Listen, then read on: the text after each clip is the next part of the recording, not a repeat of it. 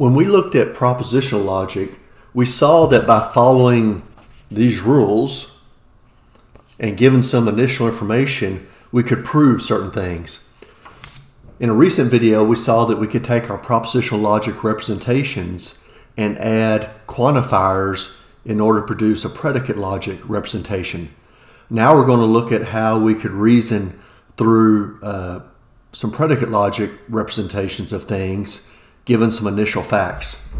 But the basic idea is this.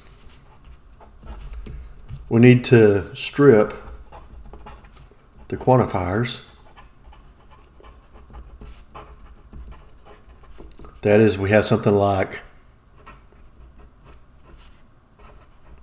p of x. We need to get rid of this part.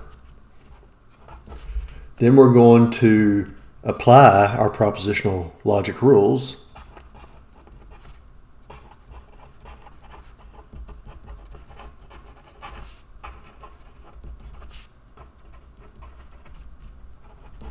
And then finally, in some cases, we'll add back quantifiers.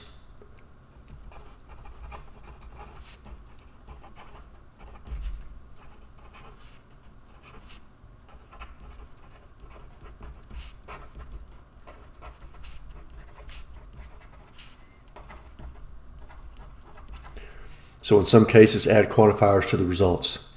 So remember, we had the universal quantifier.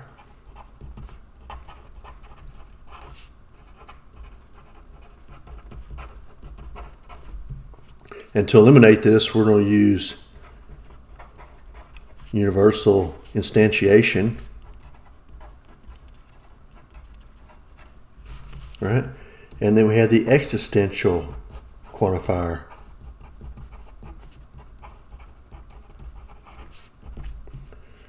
And in order to eliminate this, we'll use existential instantiation. And then we'll have two ways to put things back as needed. Okay? So in this video, we're going to look at this first one. Universal instantiation. So the idea, of course, is to eliminate this and then do things with it. So let's look at this problem for all x, if a of x implies b of x, and we have a specific value t from the domain that x is drawn from, then we will show that b of t is true. So how do we do that?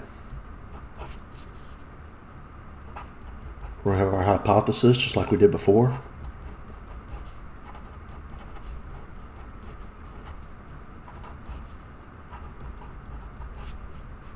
So this is hypothesis.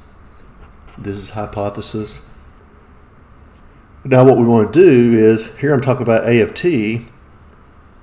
I want to take this right here and perform this instantiation. That is, represent it by talking about a particular value within the domain, which happens to be t here. So this will just be A of t implies B of t. And so this would be from step one, universal instantiation. And now I have A of t and A of t implies B of t, then we can get B of t by saying 2, 3, and modus ponens, just like before. Okay? So there's where we're using this. In this case, we're not adding anything back. We'll do that in a later video. But I'm just trying to get you sort of seeing what's happening here. Let's look at another example.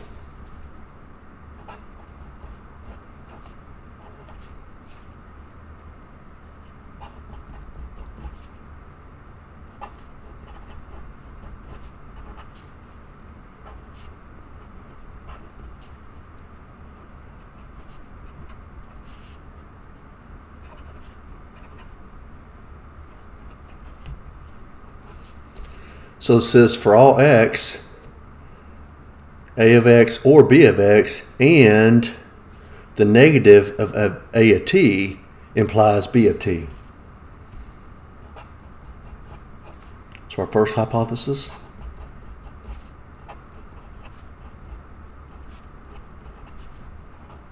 Our second hypothesis.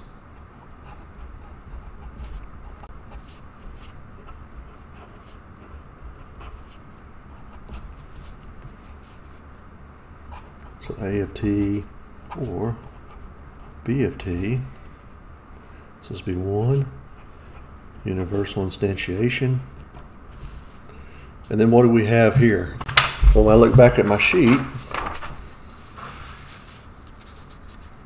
this looks like disjunctive syllogism. P or Q and not P allows me to, to derive Q. So this is basically what I have here. This would be the P, this would be the Q. Hmm. So this would be two, three, just disjunctive syllogism, which came straight off the sheet. All right. So this is what we introduced in this video, universal instantiation.